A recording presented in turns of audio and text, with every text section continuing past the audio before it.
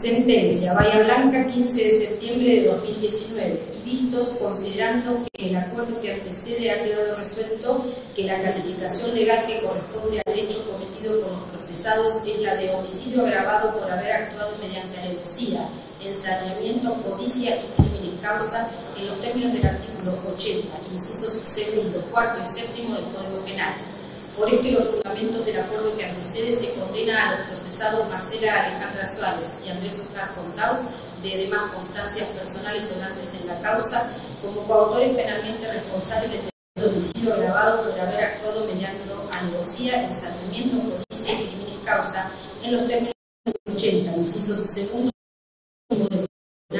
a la pena de prisión perpetua como más la imposición de accesorias legales y costas homicidio agravado por alevosía, codicia, encerramiento y crímenes causa, coautores penalmente responsables según el tribunal, tanto por Andrés Pontot como por Marcela Alejandra Suárez, condenados a prisión perpetua por el crimen de María Carmen Pontot.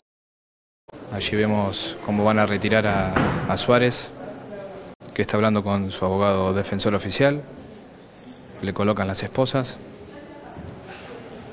Suárez, ¿querés decir algo? Soy inocente. ¿Qué fue lo que pasó esta noche?